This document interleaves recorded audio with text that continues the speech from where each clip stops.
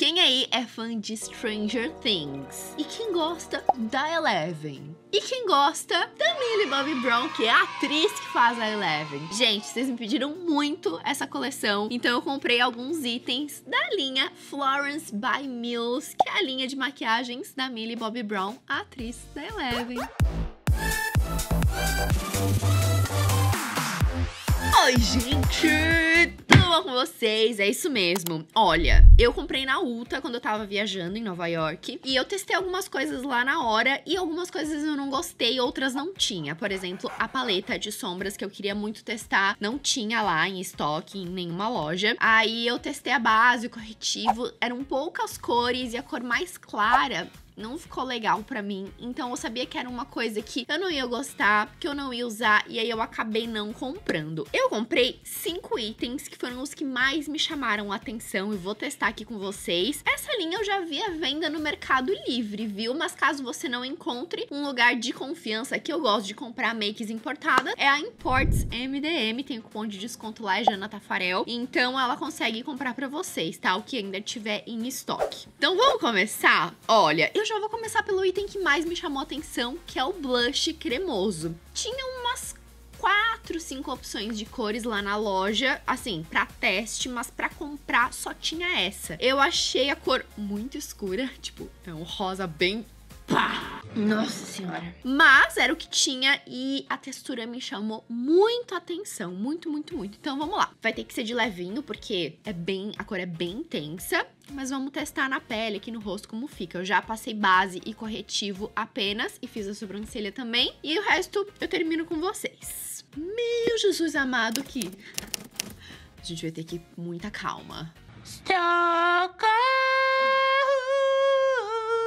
vou aproveitar. Será que é muito grande? Eu ganhei esse pincel numa compra que eu fiz da Euphoria. Vamos lá, né? Muita calma.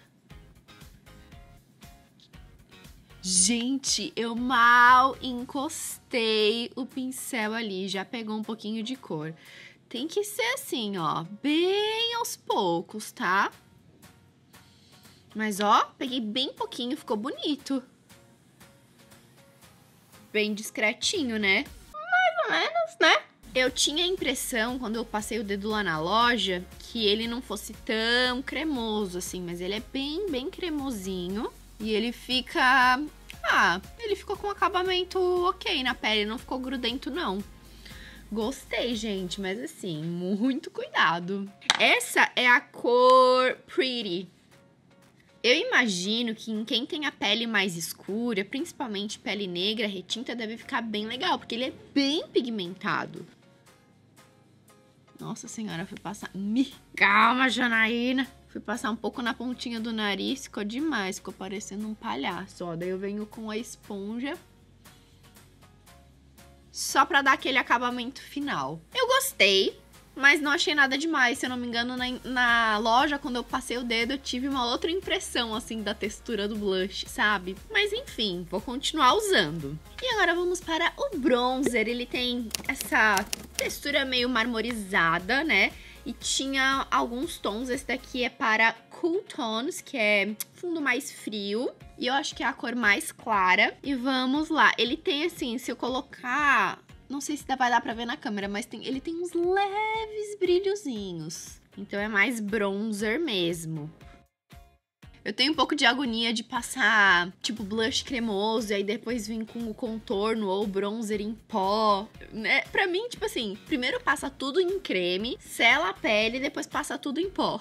Essa é a sequência na minha cabeça. Aí me dá agonia quando eu quebro essa sequência, entendeu? Mas eu não vou selar a pele com pó ainda, porque tem o iluminador, que é um iluminador em stick. Esse bronzer eu não testei lá na loja.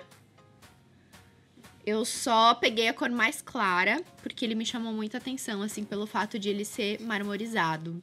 Vou passar um pouquinho aqui também, ó, porque eu tô viciada em fazer esse truque do efeito lifting com bronzer ou contorno. Parece que ele dá uma puxada, assim, no olhar, sabe? Eu tenho essa sensação, pelo menos. Eu tô gostando dele, ele esfuma bem, mas ele, pelo fato de ser bronzer, né? Ele tem um fundinho mais quente, mesmo sendo o tom mais claro, né? É, cool tones é tons frios, então Mas é que ele é bronzer, né? Então, ele naturalmente vai ser mais quente. Mesmo para tons frios. Pincel tá com um cheirinho tão bom, eu lavei ele.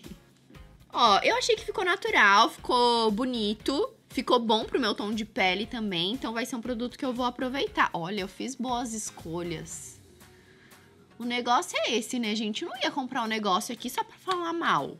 Se eu já não gostei lá na loja, né? Poxa, meu precioso dinheirinho, entendeu? Não quero gastar meu precioso dinheirinho à toa. Já gastei tanto nessa viagem que, pelo amor de Deus, não posso mais viajar pelos próximos três anos. Tô brincando.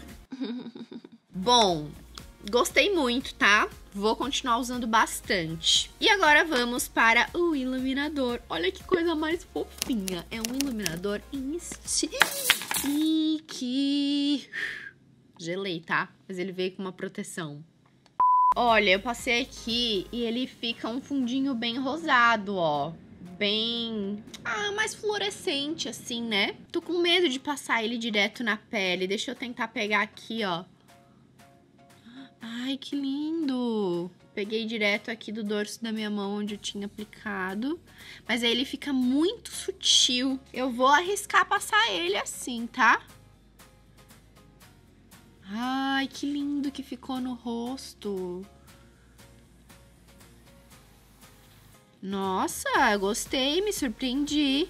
Ai, muito fofinho. Essa daqui é a cor Self Respect. Nossa, gostei desse iluminador e eu achei um tamanho bom, porque às vezes são aqueles produtos em sticks muito grandes que só ocupa muito espaço na gaveta, porque a gente nunca vai usar tudo isso, né? Olha, gostei também de pegar assim, ó, com o dedo direto no stick e já passar no rosto. Funciona super e fica a coisa mais linda. E assim, eu acho que dá pra passar tanto direto no, no rosto quanto pegando com o dedo, porque ele é muito cremosinho. Não é aquele produto em stick seco que aí você passa e arranca a base de baixo, sabe? Eu achei bem legal a, a textura dele. Me surpreendeu, viu? Vou passar um, um pouquinho aqui assim também. Que lindo, que lindo, que lindo, que lindo, que lindo, que lindo, que lindo. Eu não comprei, não vi se tinha ou se não tinha minha cor, não me lembro, eu não comprei pó. Então eu vou selar alguns pontos específicos do meu rosto com esse pó da Coças. Então eu vou selar aqui na pálpebra, só pra não ficar acumulando base nessa minha dobrinha. Aqui um pouquinho na testa. Aqui assim no lado do, na lateral do nariz, sabe? Não muito, porque eu não quero tirar o efeito mais glow dessa make. Principalmente aqui na parte do iluminador, que tá a coisa mais linda. E agora vamos para a máscara de cílios. Não tenho muitas expectativas, tá? O nome dessa máscara é Build to Lash. Build to Lash. Não sei. Ah, sei lá. Mas ó, o aplicador é mais basicão, assim. E vamos ver qual é. Olha, gente, como eu imaginei, não tá dando um efeito muito legal nos cílios, não. Não tá dando pra ver muita diferença, sabe? E a sensação que eu tô é que ela tá seca, porque toda vez que eu vou passar no, ro... no rosto, toda vez que eu vou passar no olho, cai aqui no meu rosto uns pontinhos preto. Hum... Poxa, não gostei, não curti a máscara, não. Tá aí uma coisa que eu imaginava que não era tão bom, mas eu quis levar mesmo assim e não curti. Olha que o efeito é nada. Infelizmente. Infelizmente, gastei meu precioso dinheirinho. Acho que essa compra foi inútil. Mas tudo bem. Pelo menos tô testando por vocês. Bom, é isso. O máximo de efeito que eu consegui com essa máscara foi isso, porque eu passei várias camadas já. E aí só completei um pouquinho aqui embaixo. Passei a máscara de cílios aqui no outro olho e é, gente, não rolou mesmo. Ela é realmente ruim. Ficou uma bosta, né? E agora vamos para o batom, ele tem um acabamento velvet, foi o batom que mais me chamou a atenção dos que tinha lá, porque tinha batom em bala, batom líquido, balme, e esse daqui é um batom líquido com acabamento velvet, que é aquele acabamento mais mousse, sabe? Eu comprei a cor Vibe Check, eu vou só tirar aqui um pouquinho de balm que eu tô no, nos lábios, só pra dar aquela hidratadinha. Achei a cor lindíssima, peguei uma cor que eu fosse usar mais. Ai, gente, sério. É aquela textura que abraça os lábios, sabe? Que delícia! Sério.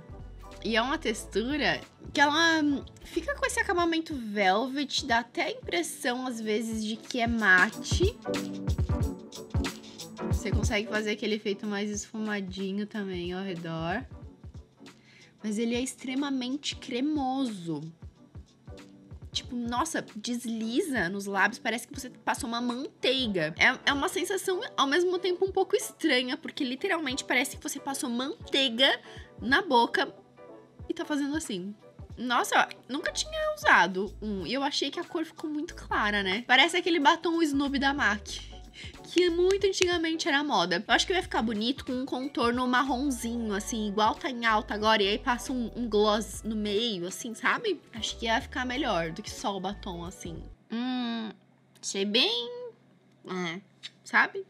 Olha, de tudo que eu comprei, o que mais me surpreendeu, acho que o item que eu mais gostei foi o iluminador. Eu não dava nada pra ele, tá? Principalmente por ser em stick. É o tipo de iluminador que eu menos gosto, mas foi o produto que eu mais amei, que mais me surpreendeu. E o que mais me decepcionou, sem dúvidas, foi a máscara de cílios, gente. Aqui, nem parece que eu passei alguma coisa, né? Claro, meus cílios estão um pouquinho mais pretinhos, mas não deu nada de efeito, sabe? Não alongou, não deu volume, não deu definição, não ficou separadinho então não curti mesmo. O resto eu gostei. E aí, o que, que vocês acharam dos produtos? Qual foi o seu favorito? Qual foi o produto que você sentiu falta que eu testasse aqui? Me conta, porque eu posso dar um jeitinho de conseguir. Então comenta aqui, quero muito saber. Compartilhe esse vídeo com aquela sua amiga que é fã de Stranger Things, fã da atriz, da Millie Bobby Brown, da Eleven, enfim. Eleven.